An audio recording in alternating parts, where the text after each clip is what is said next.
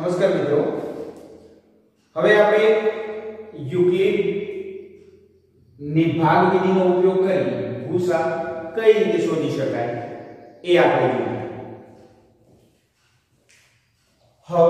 હવે આપણે આના પહેલાના વિડિયો લેક્ચરની અંદર ઉદાહરણ આપ્યું કે 10 અને 15 નો ભૂસા કેટલો શોધ્યો તો? 5 એ જ ઉદાહરણ આપણે યુટિલિટીની ભાગફળીનો ઉપયોગ કરી ગુસાઅ શોધ્યો. તે પણ કેટલો આવશે? 5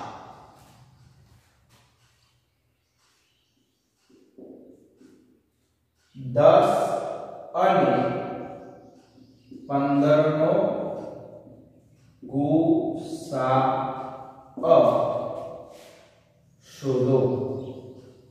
શેનો ઉપયોગ કરવાનો છે આપણે?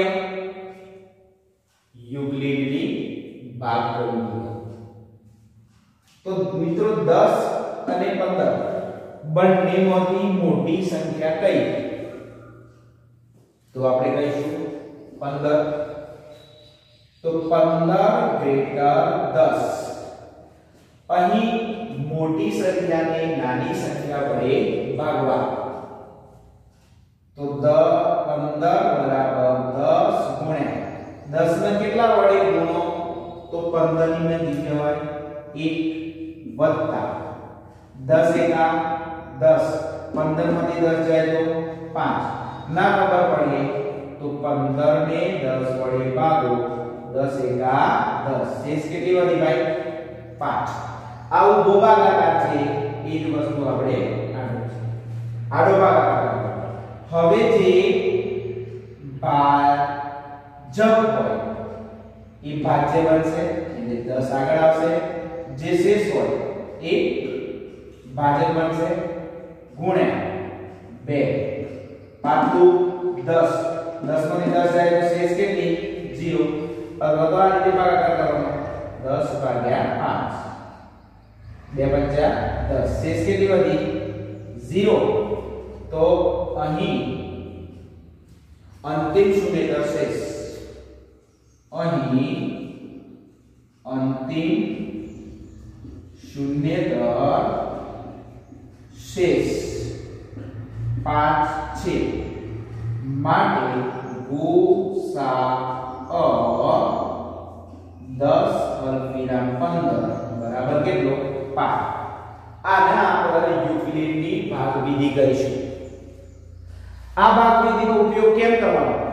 તો જ્યારે રકમ અથવા તો આપેલી બે સંખ્યાઓ ખૂબ જ મોટી હોય, આ તો નાની રકમ હતી, આના અવિભાજ્ય અવયવ અથવા તો અવયવનો ઉપયોગ કરી શોધી શકાય. પરંતુ પરંતુ જ્યારે આપેલ સંખ્યાઓ ઘણી મોટી હોય, તો અવિભાજ્ય અવયવ કે અવયવની કંટાળાજનક બને છે. એટલા માટે યુક્લિડની ભાગવિધિનો ઉપયોગ કરી જ્યાં સુધી સે શૂન્ય ન આવે, ત્યાં સુધી આ પ્રક્રિયા ચાલુ રાખવી અને અહીં જે અંક આવે અથવા તો આ એ અંતિમ શૂન્યતર શેષ ગણાશે. એ આપણો શું થશે? ભૂસા મિત્રો, આપણે ભાગાકાર શીખેલા છીએ. આમ ભાગાકાર શીખેલા છીએ. અંદર હોય એને ભાજ્ય અહીં હોય એને ભાજક અહીં હોય એને ભાગફળ અને અહીં હોય એને શેષ કહીશું.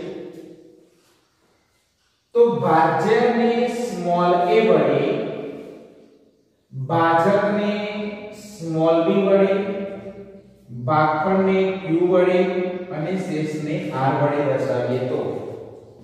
ભાજ્ય નવમા ધોરણમાં આપણે શીખ્યા હતા? ભાજ્ય બરાબર. ભાજક ગુણ્યા ભાગફળ વત્તા શેષ જો a અલ્પવિરામ b q r belongs to r, એટલે કે a b q r એ વાસ્તવિક સંખ્યાઓ હોય યુક્લિડની ભાગ પ્રવિધિ પ્રમાણે યુક્લિડની ભાગ વિધિ પ્રમાણે a બરાબર bq r જો 0 less or equal r less b હશે આ પ્રક્રિયા આપણો શું થશે ભાગાકારની પ્રક્રિયા આને કઈ કહીશું વિધિ બરોબર